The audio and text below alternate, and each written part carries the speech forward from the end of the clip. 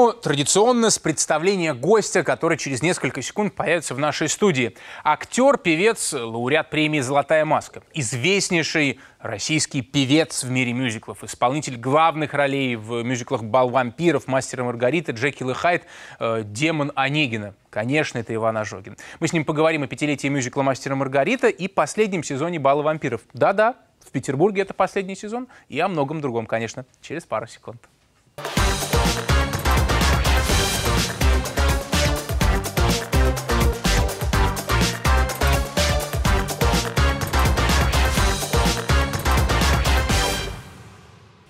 Мы продолжаем а, программу «Не спящий» Иван Ожогин у нас в гостях, как я вам обещал. Иван, доброй э, ночи. Доброй ночи. Всем, всем доброй ночи. Я вас не предупредил, что программа выходит в эфир ночью, но вы конечно, человек не, не, не вполне ночной. Помимо всего, что происходит в вашей творческой жизни, мы об этом точно поговорим. Вы только что а, в очередной раз пробежали э, в Петербурге вот этот забег. Угу. И я так понимаю, что еще и пели там.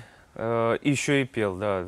Именно, собственно говоря, э, сам, э, само мероприятие, которое называется, так и называется, «Забег РФ», я пробежал второй раз. И второй раз ту же самую дистанцию, и традиционно без подготовки. Вот так как вот. Мне ну, практически не получилось э, готовиться.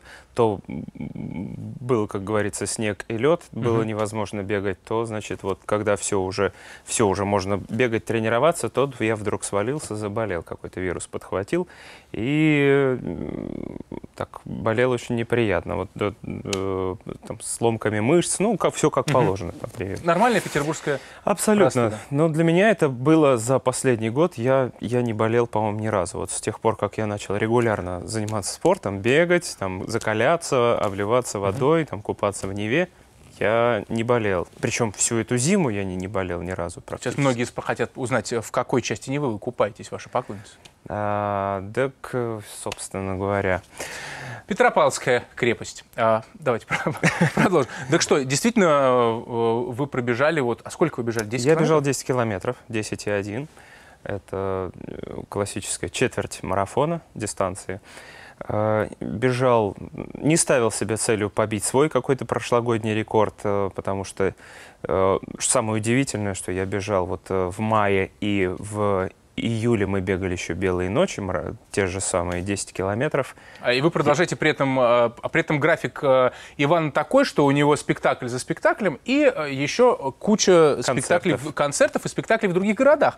Но, тем не менее, тем не менее вы да, бегаете. Ты да. утром, утром встал и побежал. Э, что удивительно, в прошлом году я две десятки пробежал с идентичным результатом.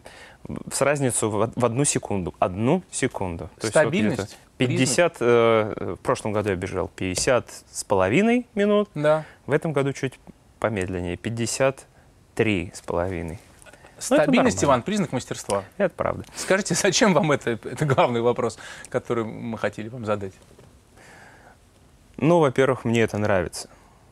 Э, нравится ощущение, когда ты бежишь, когда ты бежишь свободно, не напрягаясь, когда ты понимаешь про себя, что ты можешь преодолеть дистанцию э, в два раза быстрее, чем человек пройдет. И выносливее ты становишься, и сильнее, и здоровее.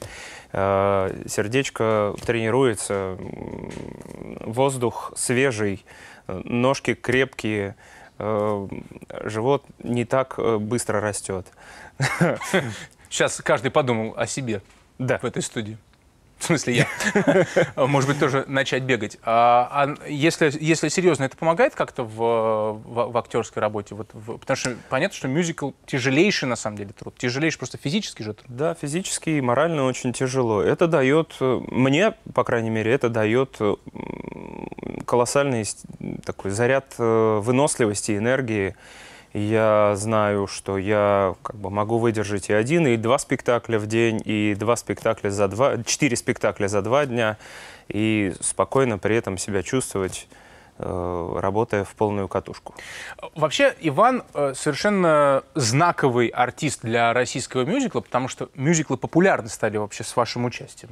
Вот мне кажется, до вас такого всплеска, до того, как появился, э, появилась ваша совершенно звездная роль в «Бале вампиров», за которую кстати, стали лауреатом «Золотой маски» в 2000 2011, наверное, году, да, мне так кажется? 13 В 2013, э, простите. Так вот, до этого все-таки мюзиклы не были так популярны, а тут просто какой-то шквал, взрыв. В Петербурге не были а, мюзиклы вот популярны. Скажем так, это э, первый э, мюзикл мирового масштаба, поставленный в Петербурге. А, а как вы, кстати, я никогда вас не спрашивал, как вы там оказались? В, в 2000 ну, вот интересно то, что я где-то там с 2007 по 2011 год э, регулярно ездил в Европу э, для участия в, в туре по европейским странам, по разным городам с хором донских казаков, которые там и базируются под Веной. И э, случайно один раз, там, два раза, три раза, увидев, что в Вене идет такой мюзикл «Танц для вампира», э, я подумал, вот хорошо было бы сходить, посмотреть. Но все как-то никак не доходили руки, ноги mm-hmm. до этого. Ну, сложно было с графиком совместить. И вдруг э, один, одна коллега мне звонит, говорит, у нас в Петербурге будет стоять бал вампиров. А вторая коллега звонит, говорит, тебе нужно обязательно туда приехать и попробоваться. А, я думаю, ну надо сходить посмотреть. Я сходил, посмотрел, это меня очень зацепило. Это мне понравился. Ну, европейский проект. вариант. Европейский э, в Вене, да, я посмотрел вариант. Мне это очень понравилось. Я поехал на кастинг из, э, собственно говоря, прилетел в Петербург из, прямо из Берлина, угу. потому что это был последний гастрольный город э, в том туре. И прошел кастинг. Ну, понятно, что не с первого тура, но как бы вот первый тур, ну, второй, понятно, третий. Да, там все ступени. И я прошел и получил эту роль, которую э, я прям вот предчувствовал, что станет какой-то такой знаковый. Серьезно было Серьез... такое предощущение? У меня было ощущение, потому что когда я смотрю проект, да, я понимаю, что тема, конечно, инфернальная. В то время я очень много пел э, в, в монастыре в хоре и в приходском хоре. То есть был более как бы, выцерковленным человеком, чем ранее, может быть, даже чем, чем сейчас. А, но э, тот масштаб личности героя, моего персонажа, меня поразил настолько, что я понял, что это, это нельзя упускать. Это такой ключик. А как э, у, граф фон Кролок, да, зовут вашего, граф фон Кролок. вашего героя? Так а, и вашего... зовут именно, граф с большой буквы. Граф. Да. Фон Кролок. Фон Кролок. А, добавляем и после. Как он изменился за эти годы? Вы как-то чувствуете к нему другое отношение? Потому что э, вообще сейчас, насколько мы знаем, сезон этот последний. Вообще как будто бы бал вампиров в Петербурге как будто бы, да, бал вампиров э, и по моим сведениям тоже вроде как последний. Э, на самом деле много факторов влияют на то, что мюзикл вряд ли вернется в Петербург в ближайшее время, точно в не ближайшие годы. Любой персонаж с, с течением времени, если ты его играешь э, не всего один месяц, а в принципе он, любой персонаж будет меняться. Будет, э, если ты как бы не совсем машина, ты будешь искать новые краски, новые э, эмоции, новые взаимоотношения, какие-то микроизменения э, взаимоотношений с партнерами, с, э, с тем, что происходит вообще вокруг героя твоего персонажа. И естественно, я, мне уже не 33 года, а немножко скажем, больше. Чуть-чуть побольше, да, да, на 7 лет. И э, мой персонаж, в общем-то, тоже стал в какой-то момент более уверенным в себе, в своих силах, в том, что действительно э, произойдет так, как он решил, предсказывает, как он, хочет, как он решил, как э, уже было не один десяток лет, не одну сотню даже лет. Эх, Иван, нам бы сейчас взять ваше интервью. У нас его нет, к сожалению, но если бы у нас было ваше интервью, момент, вот в тот момент, когда там прошел первый сезон «Бала вампиров», наверняка и вы же ведь так же изменились, как и, как и ваш персонаж. Да, я да, думаю, мне что тоже это было кажется, бы... что я стал взрослее, наверное, мудрее где-то. Ну, об этом мы поговорим сразу после рекламы, короткая реклама на телеканале 78, потом мы с Иваном Ожогиным еще побеседуем. Далее в программе. Гость в студии – актер музыкального театра, исполнитель главной партии в знаменитом мюзикле «Бал вампиров» Иван Ожогин. Первый поэтический фестиваль Greenfield Poetry Collection на площадке Севкабель Порт. Премьера на сцене театра русской антрепризы имени Андрея Миронова, спектакль «Одиссея 1936», режиссер Константин Богомолов. Концерт пианиста и композитора Кирилла Рихтера. Музыкальный гость – группа «Крэк» о последнем альбоме и концертах на крыше.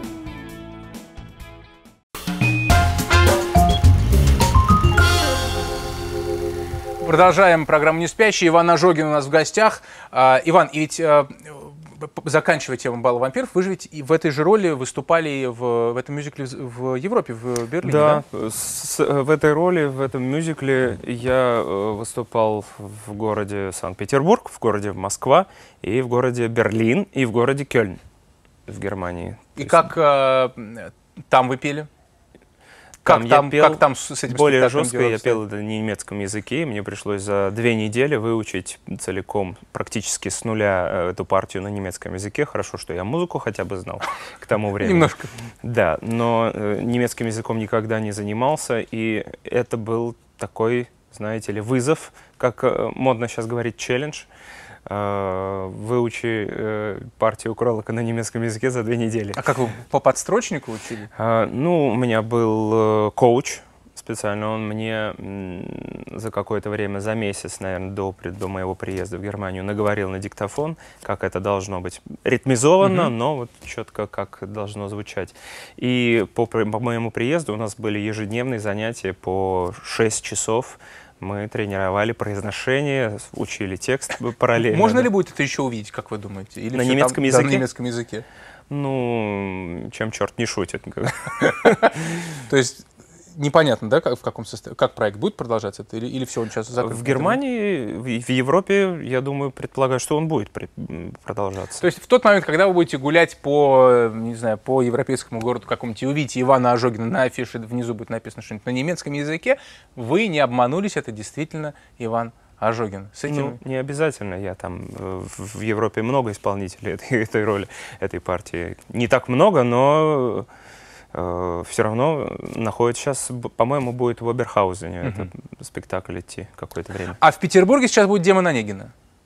А в Петербурге в ближайшее время это Демон Онегина. Вот конечно же. буквально в ближайшие дни.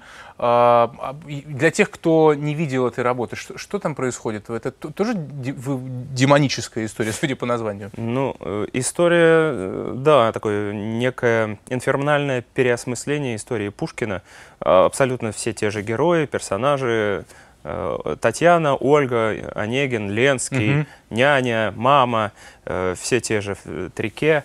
Э, Но при этом еще все это через... А, еще добавлены старый Онегин, Мгм. тот, который уже попал в психушку и лежит в клинике на, на- на- исходе своих дней.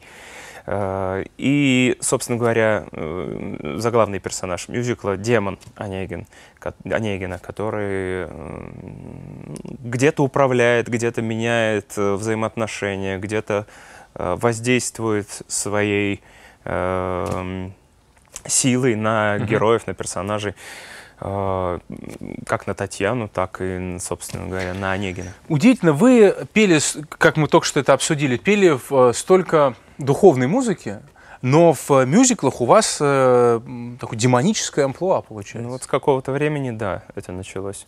Наверное, Е- неспроста. Наверное, в Есть- этом есть а есть желание как-то это, как-то изменить эту, это видение режиссерское у вас? Ну, у меня помимо инфернальных персонажей э, были в копилке и более светлые персонажи, наоборот, скажем так, кардинально отличающиеся. Например, Воланд в «Мастере и Маргарите», которая э, только что была показана в Петербурге. Десять лет назад я играл в Москве в театре сатиры э, пророка. А вот оно что. Хорошо. И были пророки, пророки такие в своем отечестве. Ну, то есть вы не думали на самом деле об этом, да? Вы, вы так спокойно относитесь? Я к- спокойно. Ну, мой, ну, назовем это крест. Судьба. Ну, может быть, э, ко- кому многое дано, с того многое спросится.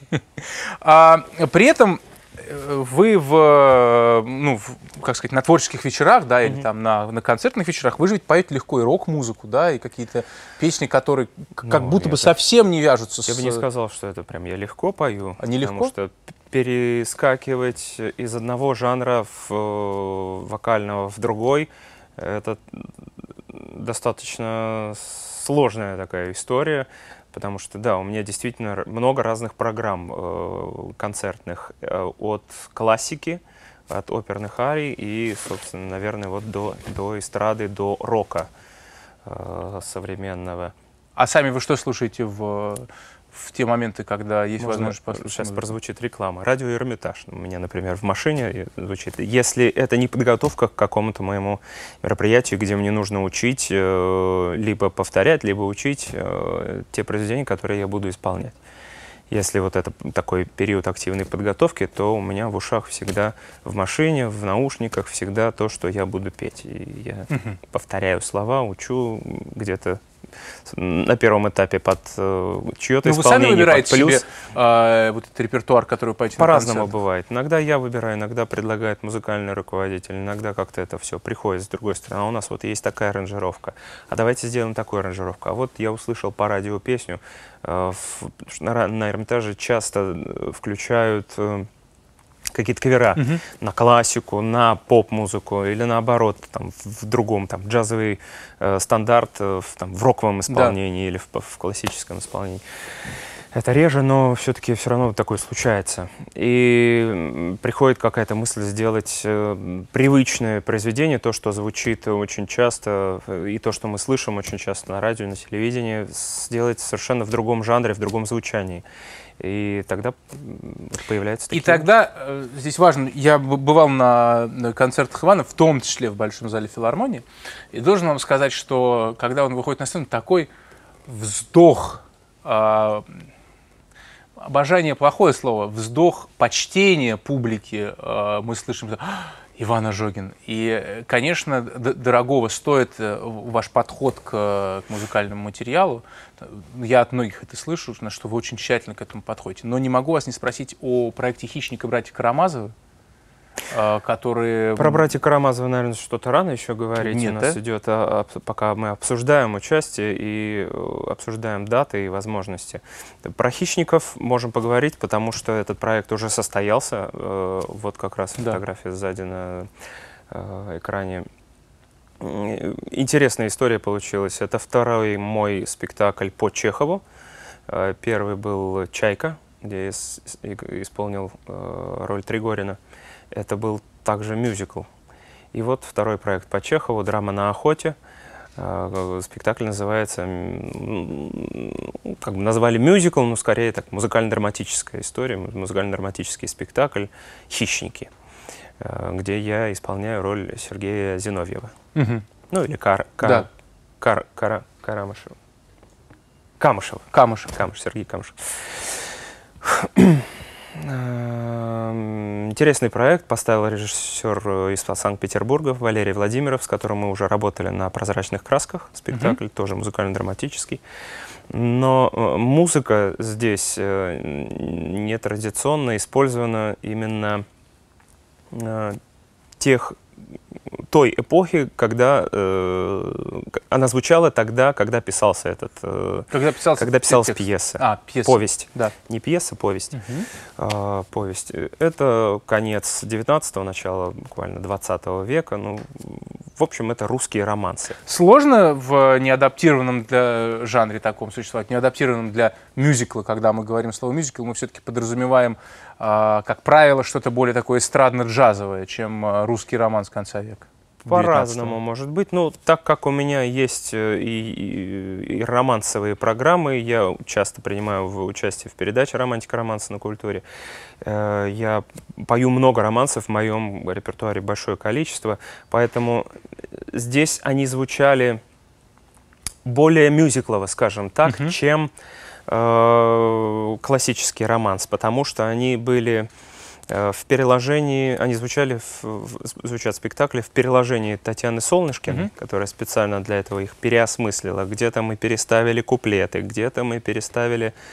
э, вообще история очень интересная получилась. Два совершенно разных романса, разных композиторов сплетаются в одну полифоническую такую историю. И получается, выходит дуэт например, Оленьки и э, моего персонажа, там, Сергея Зиновьева. Э, Хорошо, уникальная Иван. история, уникальная. Когда мы увидим еще раз этот спектакль, как вы думаете? Я думаю, что мы увидим этот спектакль 28, 29 и 30 октября в Петербурге. Вот, собственно, и основной ответ, который мы получили сейчас на этот вопрос. Значит, в октябре э, мы с вами отправляемся на «Хищников» с Иваном Ожогиным. Бал вампиров э, будет сейчас Июнь-июль. июнь-июль. С 11 И- июня по 21 июля. И это очередной челлендж для вас выдержать такую серию э, спектаклей А, и для помимо, нас возможность. да, помимо участия в бале вампиров, я еще буду принимать, в- например, в субботу-воскресенье днем играть графа фон Кролока, а вечером выходить в образе Воланда в «Мастере Маргарите». А, ну и, конечно, совершенно не демоническое амплуа у Ивана Ожогина, как он сказал до этого, Абсолютно. да, бывало и другое. А, спасибо большое, Иван. Удачных забегов, Спасибо. удачных стартов. Иван Спасибо. Ожогин был у нас в гостях. Короткая пауза, после которой продолжим программу «Не спящий».